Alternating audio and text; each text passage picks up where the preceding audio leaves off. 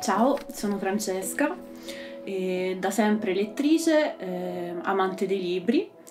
Eh, anni fa ho conosciuto Carlo eh, che ha la mia stessa passione e insieme abbiamo pensato, e poi messo in pratica, abbiamo pensato di aprire una libreria indipendente.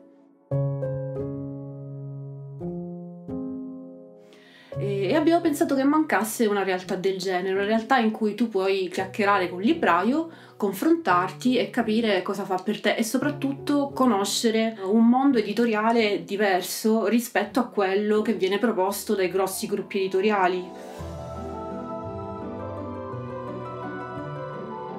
Le, le, piccole realtà, i piccoli editori spesso e volentieri riescono a pubblicare eh, dei testi che difficilmente si trovano in giro, che hanno una promozione, magari una, una distribuzione in parte limitata, ma che valgono e che quindi vanno conosciuti.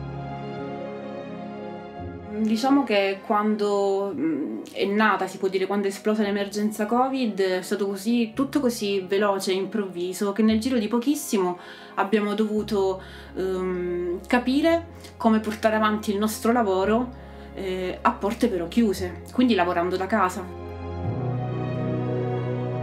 Questo confronto con il lettore, con, con il cliente, ehm, abbiamo dovuto instaurarlo attraverso un computer.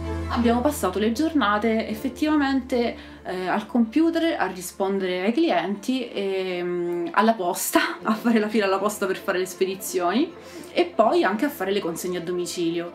E là è nata una bellissima idea, e cioè l'idea di fare le consegne in bicicletta.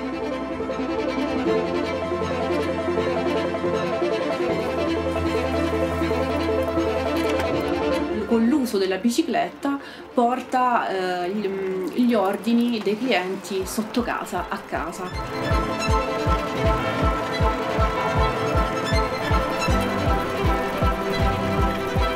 C'è anche da dire una cosa, cioè che negli ultimi mesi è nata una piattaforma online che aiuta proprio le librerie indipendenti eh, per gli ordini con i clienti, cioè noi riceviamo semplicemente degli ordini, sistemiamo il tutto e, ehm, e i passaggi quindi sono molto semplificati.